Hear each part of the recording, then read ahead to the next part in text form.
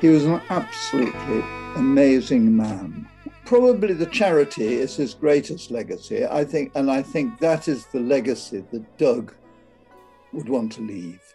And I think the great thing is he um, he chose his um, trustees extremely well, and, and so that the charity is still, I think, the most effective and strong charity of the many, many charities that are, are doing great work in Nepal. But Community Action Nepal is doing a wonderful job and will continue to do so. And that is, yeah, that is Doug's legacy, and it's what he's passed on. As far as his climbing achievements went, he was one of our greatest climbers, and that is another legacy which uh, will go on in the history of climbing. But I think, yes, I think the most important thing of the lot was what he did for the people of Nepal.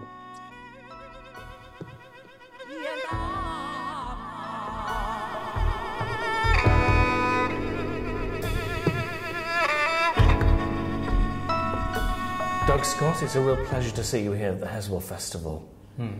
Were you surprised to be asked to take part in an arts festival? Uh, no, no. We're actually putting on um, uh, a mountain arts festival at Rheged outside Penrith, the 6th, 7th, 8th of November. And uh, the uh, group Isaacs and Violets are performing there. So um, yeah, it, was, it was good to be coming here to do a kind of dress rehearsal. Excellent. Ready for Rheged. And we've got a full house for you tonight. Well, that's good. Even better. Yeah. It's impossible to go through all your achievements in the world of climbing. You've done so many first ascents. That's astonishing. Hmm. But was that important to you that there were first ascents? Well, I mean, that's the kind of um, that's how it all started. Mm. Mm. Mm. And there were only first ascents to do it. Yes. Yeah. So it's, it's, the core of climbing, doing going where no one went before, and you get pushed out to the Himalaya, really. Yes. Mm. Because, um, uh, you know, the Alps has got so worked out mm. and every mm. elegant, every obvious line's been done. Mm. But um, all, all the most elegant ribs and buttresses on, on, on, the Alp, uh, on all the peaks in the Alps have been climbed. Mm. But um, apart from Everest, the Himalayas is wide open. In fact, there's still probably more peaks over um, 6,000 metres unclimbed that have been climbed. Really, still? So plenty Goodness. Much to do. Goodness. Interesting reading that your preferences when, when you're climbing. You prefer the alpine style. That, is that not, am I right in thinking that's sort of everything you can carry virtually and uh, not, not to besiege a mountain? Well, it's a bit like um, a commando unit operating behind enemy lines.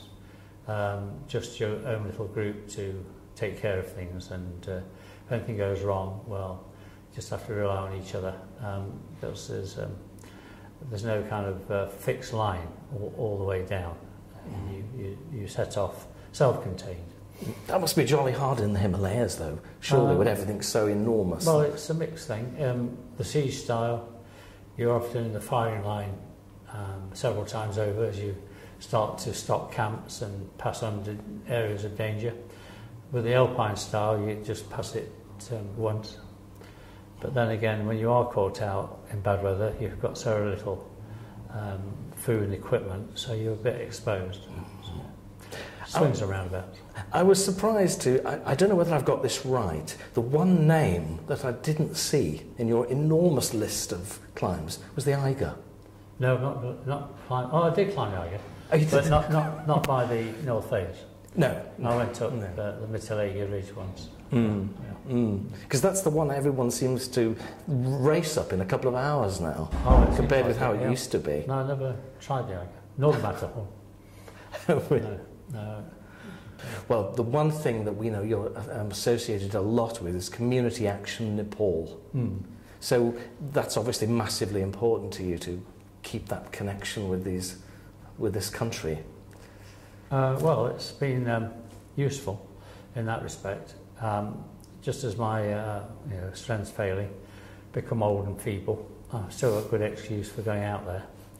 And, uh, well, we're involved with about 40 odd projects half of them all now flattened on the Mm. 25th of uh, April. In the Have you been out there since that event? Yes, we're out there So- about three weeks ago. So what is it like there now? Oh, it's um, Heartbreaking. pretty, pretty appalling and Mm. see the devastation and the haunted look in the eyes of folk we've known for so long. But uh, they're all determined to get cracking and, and put it all back together. We've raised a million pounds and uh, over a million now. So we, we have the, the funds to rebuild and, and build better with future shops in mind uh, on our patch. And that's all you can do really. Um, don't think about the wider issues. Just do rebuild what we've already started. Um, It's the day-to-day things they need at the moment. yeah, we've, we've put in about £65,000 worth of sort of food, medicines, tarpaulins, tents and all that, see them through the monsoon. But um, a, a lot of our time right now is taken up um, in designing schools, health posts and homes that will withstand future shocks. And we're looking at what people have done around the world. You know, New Zealand, Christchurch, Japan, and the big earthquake in 2005 in Hunza, in North Pakistan, where I think it was about 8,000 people died. 10,000 died in Nepal.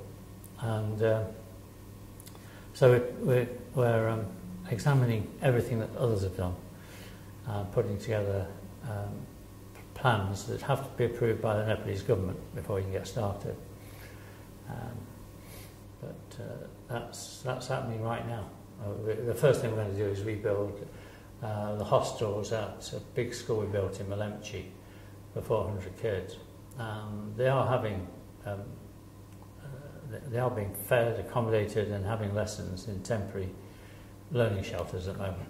But uh, the, the, they've remained dry through the monsoon, but now the cold of winter is going to be a real problem because they're not insulated those tents, and uh, so we've got to uh, we want to crack on with building the hostels that have collapsed. Well, it's fantastic work. It really is. Um, I know that the Himalayas were formed because of geological activity, but it, Nepal wasn't the sort of place you associate with that sort of event, is it? You don't really hear. And it was a Um, surprise to so many people, I think, when it was so Um, bad. It might be to uh, tourists who found it you know so Mm. idyllic, but actually Mm. all the geologists have been saying for years they, they expected this to happen. I mean, there was a huge one in 1934, bigger than this one, um, but um, they, they don't think that it's the end of the story. I mean, there have been so many aftershocks. There's one about four days ago, f- uh, 4.8, which if it happened here, you It- it'd be remember enormous, it, wouldn't it? remember it all your life. sort of. Absolutely. That's just another little shock for them. Uh, but uh, no, it's all ta- uh, uh, plate tectonics, you know, the sort of Indian plate moving against Yes. the um, Tibetan. Well, that's why the Himalayas are there in the first place. Push- Of course. Yeah. Well, the, you've got the there are some marvellous um, Nepali um, clothes on sale here, which I'm going to go and have a look at. Hmm. Uh, let's just hope that um, the work carries on and they Hmm. they get through this winter because that's going to be very hard. It is, and the, the sales are important to us. Um, we, we bring them over from Nepal, a lot of them made locally. Um, plus, we are able to say that all all the donations we get go out to Nepal. Our costs in Britain, our temporary staff, Ruth and Anne in Cumbrian office and Denise in London, uh, are, are paid from the sales of Nepalese goods and my lectures and and, and other people are beginning to lecture for us now. So that's quite a good thing to be able to say these days when people are concerned about the big charities spending so much on admin.